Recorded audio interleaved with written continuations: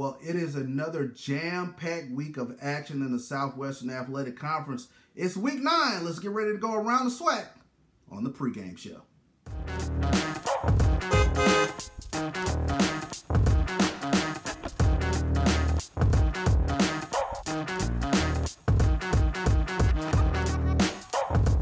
Let's start it off in Houston, Texas, as the UAPB Golden Lions, one and six on the season, 0 and 4 in conference play, take on the Texas Southern Tigers, who are 2 and 5, 1 and 3 in conference play.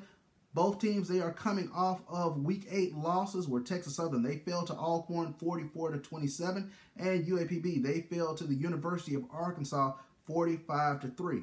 When we take a look at this Texas Southern team, they are led by quarterback Andrew Body, who, despite the loss, had 318 yards passing uh, against Alcorn. Of course, he found his favorite target, Keelan Davis, who is one of the top receivers in the Southwestern Athletic Conference. He's averaging 99 point yards per game. He had five catches for 132 yards and a touchdown in that loss to Alcorn. When we take a look at the UAPB Golden Lions, they are led on the defensive side of the ball by Jalen Thigpen. He averages eight tackles per game for the Golden Lions.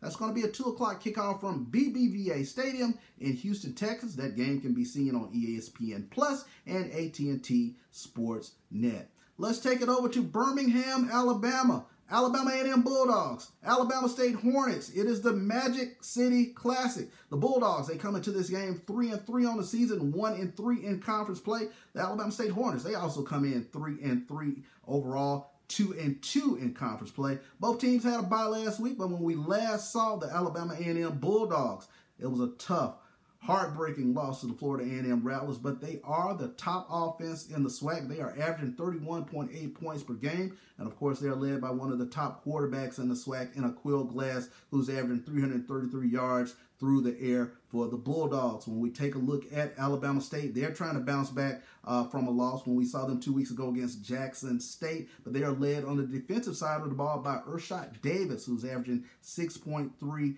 tackles per game. He has also contributed two sacks for the Alabama State defense. Throw the records out. It's the Magic City Classic from Birmingham, Alabama. That is a 2.30 kickoff, and that game can be seen on ESPN3. Let's take it down to Tallahassee, Florida. It is homecoming for the Florida A&M Rattlers as they entertain the G-Men. Grambling State, they come into this game 3 and 4 overall, 2 and 2 in SWAC play. FAMU, they are 5 and 2 on the season, 3 and 1 in SWAC play. Grambling, they're returning from a bye week when we last saw the G-Man two weeks ago. They got a big homecoming victory over Texas Southern. In that game, Noah Biden, he paced the Grambling offense with 156 yards passing, but it was the Grambling defense, four sacks in that 34 to 20 win over Texas Southern.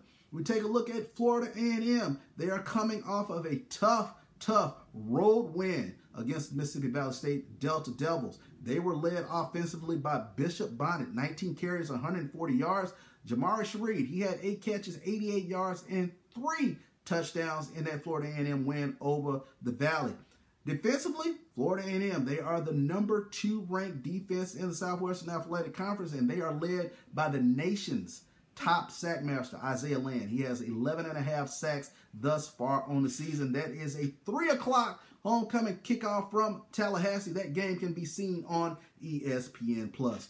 Let's take it down to the bluff, Baton Rouge, Louisiana, as the Southern Jaguars. They host the Alcorn State Braves. Alcorn, they come into this game 5 and 2 overall, 4 and 0 in SWAC play. Southern, Three and four on the season, two and two in SWAC play. Of course, as mentioned, Alcorn, they're coming off an impressive road win over Texas Southern where they racked up 233 yards on the ground. They were led by Stafford Anderson, 83 yards last week against Texas Southern. Through the air, it was C.J. Bolar leading the Braves receiving corps. He had seven catches for 111 yards and two touchdowns. C.J. Bolar, he's also the number two ranked uh, receiver in the conference. He is averaging 20 yards per catch. When we take a look at the Southern Jaguars, it was a tough homecoming defeat to the Prairie View Panthers, but they are led by the SWAC's top rusher, Kobe Dillion. He's averaging 96 yards per game for the Southern Jaguars. That'll be a 6 p.m. kickoff from A.W. Mumford Stadium in Baton Rouge, Louisiana. And of course, our game is the 6 and 1 Jackson State Tigers 4 0 in conference play, traveling up to Itta Bena, Mississippi to take on the Mississippi Valley State Delta Devils, who are 2 and 5 on the season, 1 and 3 in conference play. Of course, as mentioned, Valley, they're trying to bounce back from that tough home loss to Florida A&M, where 14 points in the fourth quarter was not enough to overcome the Florida A&M Rattlers as they dropped that one 31 to 28. But offensively, the Devils they are led by the number six rusher in the conference, Caleb Johnson. He's averaging 77 yards per game for the Valley State Delta Devils. Last week against Florida A&M, Jalani Eason, he had a solid game as he threw for over 215 yards in that game for the Delta Devils. Big play receiver in Ja'Cory Rankin, four catches, 147 yards, a huge 67-yard catch in that game against Florida A&M. We take a look now at the defensive side of the ball for the Valley State Delta Devils. Always tough and scrappy defensive effort from the Delta Devils. They are led by one of the top tacklers in the SWAC, involving Swanye, Ronnie Thomas. He is amongst the top sack leaders for the Delta Devils. And of course, Jerry Gardner, the perennial all SWAC selection. Jackson State they're coming off a successful home win over Bethune-Cookman last week, and it was a coming out party for Malachi Wideman. Nine catches, 169 yards, four touchdowns. Of course, Shedeur Sanders, he is the number two uh, ranked quarterback in the nation in terms of completion percentage. He is completing over 69% of his passes, 309 yard passing day last week against Bethune Cookman.